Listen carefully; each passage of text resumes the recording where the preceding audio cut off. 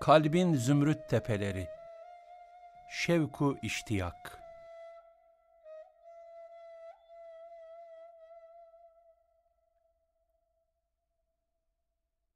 Şiddetli arzu, aşırı istek, marifet kaynaklı neşe, sevinç ve hasret çekme manalarını ihtiva eden şevk, sofiyece tam idrak ve ihata edilemeyen veya müşahede edilip de sonra kaybolan mahbuba karşı, sevgiliye karşı, kalbin arzuyla coşması şeklinde tarif edilmiştir. Bazıları onu, maşukun cemalini görmek için, aşığın kalbinde tütüp duran neşe, sevinç, heyecan ve hasret. Bazıları da, mahbuba meylü muhabbetten gayrı, aşığın kalbindeki bütün hatıraları, bütün meyilleri, bütün iştiyakları, bütün arzuları ve bütün dilemeleri yakıp kül eden bir kor şeklinde yorumlamışlardır. Şevkin menşei muhabbet, muhabbetin neticesi de şevktir. Hasretle yanan bir kalbin şifası vuslattır. Şevk de bu yolda nurdan bir kanat. Aşık vuslata erince şevk de zail olur ama iştiyak daha da artar ve müştakın vicdanı her mazhariyetten sonra köpürür ve hel min mezid daha var mı? Onun içindir ki her an ayrı bir marifet, ayrı bir muhabbet, ve ayrı bir zevk ruhani ile aşkı şefk ufkunda, şevki iştiyak kutbunda devredip duran ufuk insan ve kutup peygamber sallallahu aleyhi ve sellem bir vuslat kuşağı sath-ı mailinde en birinci dilek olarak Allah'ım senden senin cemali ba kemalini müşahedeye ve sana vuslata şevk istiyorum sözleriyle ona yalvarır ve mezit ister.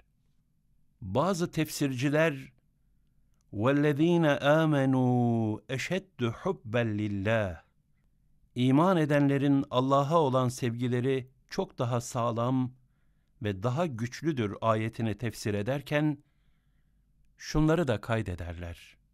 Şevk, min vecihin idrak olunup, min vecihin idrak olunmayan şeylerde bahis mevzuudur. Yoksa tam idrak ve ihata edilebilen şeye karşı şevk olamayacağı gibi, hiçbir zaman bilinip kavranması mümkün olmayan şeylere karşı da o düşünülemez. Evet insan görmediği, sesini işitmediği, evsafına muttali olmadığı şeylere iştiyak beslemediği gibi, tamamıyla ihata ve idrak edebileceği nesnelere karşı da alaka ve arzu hissetmez. Şevku iştiyak iki şekil ve iki surette cereyan eder. 1. Sevgiliyi müşahede ve vuslattan sonra meydana gelen ayrılık esnasındaki iştiyaktır ki, Mevlana'nın neyi, Yunus'un dolabı, o ürperten inilti ve gıcırtılarıyla ezel bezmindeki vuslat ve maiyete duydukları şevkten birer feryattır ve bu feryat şebi arusa kadar da sürüp gidecektir. 2. Müştak olan aşık, sevdiğini perde arkası görür. Fakat tam ihata edemez. Hisseder ama tam duyamaz. Parmağını aşkın balına banar, ne var ki bir adım daha atmasına izin verilmez. Yandıkça yandım bir su der ama yanması matluptur. Çığlıkları nazara alınmaz.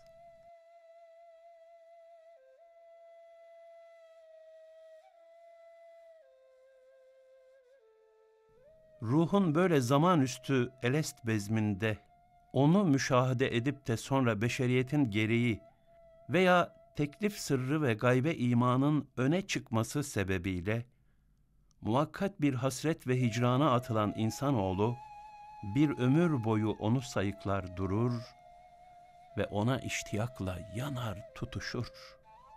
Bundan daha önemlisi de nezih ruh, temiz gönül ve selim fıtratlara karşı istina-ı zatisine muvafık şekilde zat-ı akdesin şevkidir. Kim bilir belki de sinelerde ocak gibi tütüp duran iştiyakın asıl kaynağı da işte bu şevktir. Şevk, zahir ve batın duyguları mahbuba tevcih edip, ondan başkasına karşı olan iştihalara bütünüyle kapanma, iştiyaksa ona karşı arzu ve isteklerle dolup taşmadır. Ve bunların her ikisi de ruhu besleyen önemli kaynaklardandır. Her ikisi de elemli fakat inşirah verici, sıkıntılı ama ümit vaat edicidirler. İnsanlar arasında aşkla yanıp şevkle inleyenden daha az ızdıraplı fakat aynı zamanda daha mesut kimse yoktur. O vuslat mülahazasıyla neşelenip coştuğu zaman o kadar ruhanileşir ki, o esnada cennete gir deseler ihtimal ki girmez. Ayrılık hasretiyle de öyle yanar yakılır ki, dostla hemhal oluncaya kadar ateşini cennet kevserleri bile söndüremez. Ne var ki içinde bulunduğu o cehennemden kurtulmayı da hiç mi hiç düşünmez. Düşünmek bir yana, onun şevku iştiyakına cennet sarayları dahi mani olsa, cehennem ehlinin ateşten kurtulmak için feryatlar kopardığı gibi o da çığlıklar atar. Dünya insanları şevki, şevk ehlini bilmez. Şevk ehli de kendini dünyaya kaptırmış nadanlara hayret eder ve onların hallerinden ürperir. Bir münasebetle Cenab-ı Hak Hazreti Davud aleyhisselama şöyle ferman eder. Ya Davud, eğer dünyaya meylü muhabbet gösterenler, onları nasıl beklediğimi, onlara olan şefkatimi ve günahlara baş kaldırmalarını nasıl istediğimi bilselerdi, bana olan şevku iştiyakla ölürlerdi. Şevk bir alev gibi bütün benliği sarınca, aşık, ızdırap ve haz karışımı duygularla coşar ve çığlık atar. Şevk başımı döndürüp beni hayrete sürükledi. Şevk ciğerimi kebap etti. Şevk gözlerimle uykum arasına girdi. Şevk beni ona yaklaştırdı. Şevk beni aştı. Şevk beni ızdıraba boğdu. Şevk ruhuma dehşetler saldı.